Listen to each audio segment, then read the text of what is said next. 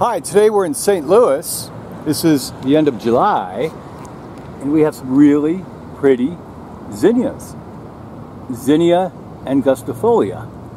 This is a showy annual, makes great bedding, ground cover, great around the edges, and good for attracting butterflies, little insects.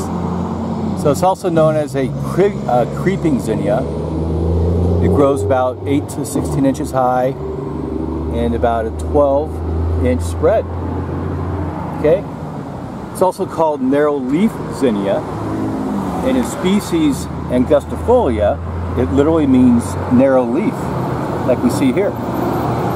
So this is an Asteraceae related to daisies and sunflowers. So what you see is lots of little flowers within one bigger flower. So the little flowers are here with the uh, stamen, the anther, the ovaries,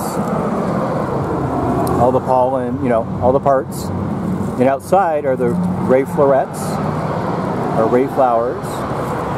And it makes this very pretty little flower for attracting insects. So here we have pink ones, kind of purple, lots of varieties. This one's yellow. I think we have a little bit of orange over here.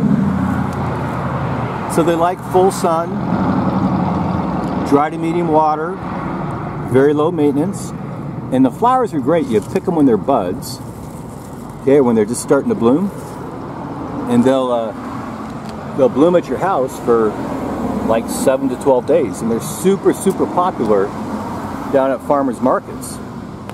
Okay, and if you want to plant this yourself, you just get seeds and you sow them directly in the soil right after the uh, last frost. So probably March or April.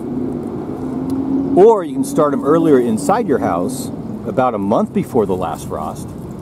Get a head start, and then um, plant these March or April. All right, and the stems, the stems, they are kind of hairy, and they branchy. See this uh, stem here? It branches and branches then branches more so you get lots of flowers per plant. And the more you cut the flowers, the more the plant will reflower. So it's best if you, uh, you know, cut the flowers as they come up and you get more flowers. All right?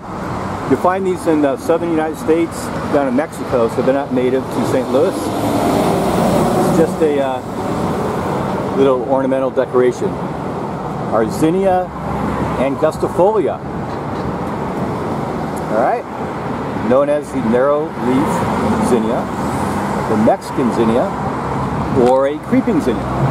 There you go. Hope you liked the video. Thanks for watching. Bye.